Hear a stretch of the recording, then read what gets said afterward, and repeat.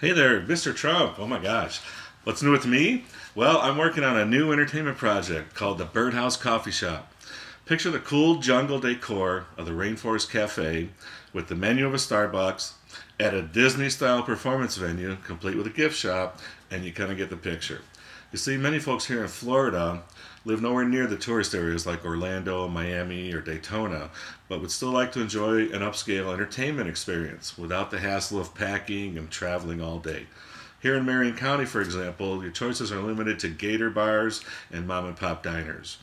I've got 30 years experience in the entertainment industry, and my wife Jan is the creative force behind the theme and decor. The plans and the team are in place, and we are currently raising capital to fund the project and are opening up to new investors. Can I buy you a cup of coffee and tell you more?